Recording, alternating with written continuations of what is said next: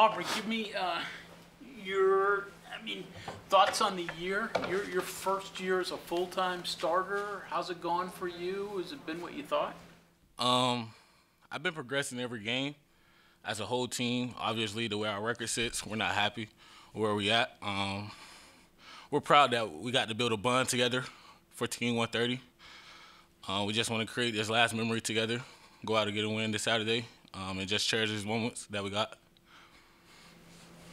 What have you learned? I mean, individually about about the game. Uh, the biggest thing I learned is that the more you watch film and understand your opponent, the game will slow down for you.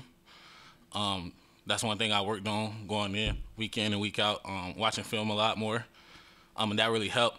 As you can see, I made more plays than I usually have um, towards the beginning of the season, and that just helped a whole defense play faster.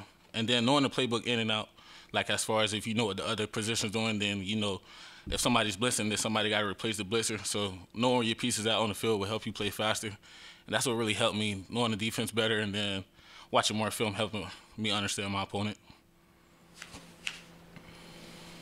You were hurt last year, but you did get to play. Did that did that experience game experience help you coming into this year, or was it too short to to have a big effect?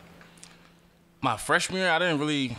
I played in some games, but um, the game that I played in that was close was only Iowa State, um, Baylor.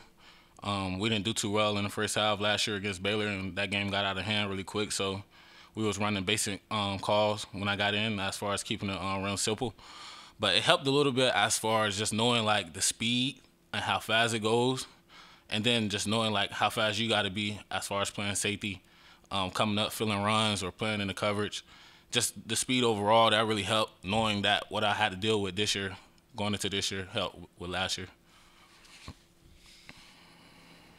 Did it surprise you there was so much off the field learning that had to be done? I mean, it surprised me um, because last year Alonzo Addae and Sean Mahone, them two guys really helped me. Um, I was a young guy on the defense, um, so they was like they brought me into their wings it was like, bro, we can't have no slack. Like, we need you to come in and be ready and be prepared. So, um, the way they, they studied the game off the field was really good, and I, I learned from them, them too. I really thank them for um, what they've done for me so far in my career. Um, just them two helping me understand how to um, watch film, how to take notes in meetings, um, little tendencies that team may have, just things like that. They really helped me a lot.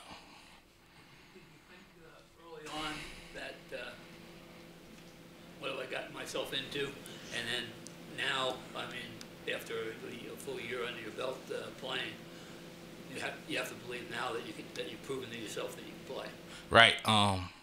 Honestly, the first like the game going into Pittsburgh when playing Pitt, man, I'm nervous the whole week. Um, knowing that I'm starting as a sophomore, I'm a young guy. We're about to go play in front of 100,000. Um, we've got to represent this state to the, the, best of my ability. So that that first game, I was really nervous, and that's every game like came along. I kind of got comfortable and just settled down and just told myself like, you're just playing football at a bigger stage. It's a lot more people watching, so just calm down when you out there and just play football like what you've been doing since the age of four. So, like as time as games came along, I really settled down and just kept my nerves calm, um, and that you know the first game playing in front of a hundred thousand to now that really that really helped me out as far as just being calm in front of a lot of people and just knowing that at the end of the day you just got to play football. You seem to come downhill pretty well. Has that physicality always been there with you? Is it something you developed over time? Uh, um, so my high school coach, his name is Ricardo Singh. Um, he played at Western Kentucky. So going into my high school career, I really wanted to play receiver. Um, my freshman year, going into summer, I, I, was like, Coach, I want to play receiver. Like that's what I, I am used to scoring touchdown. I'm not sure how to hit somebody. Um, and so at practice every day in high school, we we do hitting drills. I'm talking about from the beginning of the first practice to the last practice we had at, at the end of the season, and he really helped me understand. Like he he he told me like when you get in college, the backs are 215, 220, and you got to come with everything you got. So just when you, when I'm out there, I got to tell myself like play fearless. Like worst case scenario, you stop momentum when you come downhill fast, and then you always don't want to be you, don't want to be the nail. You want to be the hammer. So me triggering fast allows me to be the hammer at times and, and make big time plays and big time tackles like that. Is Safety, is that hard? Because if you come downhill on the wrong one, somebody's going over top of you. So how do you make that decision? Um, really, I, I would say like with me, I make the decision as far as going low or, or somebody jumping over top of me, depending on like the like how they're running. A lot of backs sometimes, if they see you overrunning the play, they'll cut your hip and cut back on you. So you really just got to see how the back is running. If he's running downhill, like uh, as far as down the distance 31, he knows he got to get the first down. And that's when you know he's probably coming with everything he got. If it's a first and 10 type of call, then he's probably going to try to make you miss to get some extra yards. So you just got to understand that, you know, how, how the game, how he's running the ball and then the down and distance and everything like that. said, um, even though you know you're not playing for bowl eligibility, there's still a lot to play for this week, especially for the younger players. I'm just wondering, I mean, is that your mindset going in? You know, what, how do you kind of feel going into this last game? Oh, honestly, I just want to um, let the seniors go out with a bang. Um, coach Mike, our strength coach, was like, "Why not be the, um, the first team in history to beat Oklahoma and Oklahoma State in the same season?" So our our mindset is still the same every week. We're going going in today practice, working hard, trying to win this game Saturday.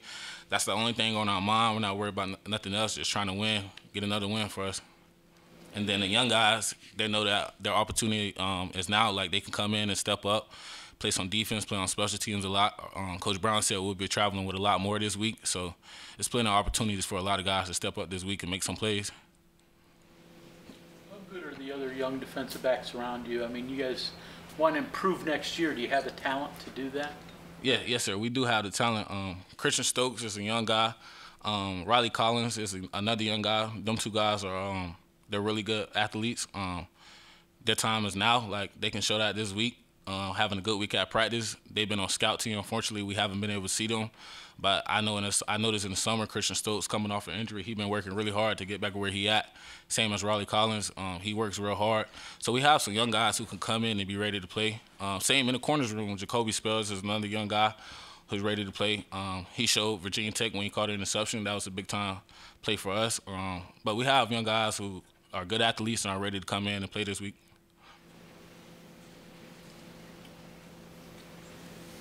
Everybody good? One more for me. So, Florida kid coming to West Virginia. What's what's the adjustment been like?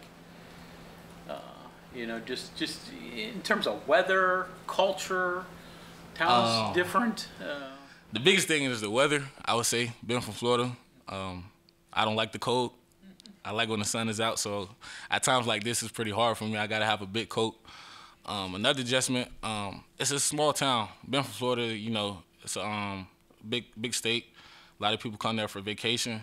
But one thing I like about here is that it being so small is that everybody love you. Um, they show love to you. They'll always, you know, be on your side whether things are going right or going wrong. And then you playing for a great state. Um, and that's what I like about here. But the biggest thing for me was the cold. Um, as far as just being prepared for college, I would say my sister helped me out a lot with that. Just coming in, just telling telling yourself time management is your um, biggest friend. Just making sure your time management you handling that correctly. But other than that, yeah, the code that's probably getting to me the most. Okay, thank you. Thank y'all.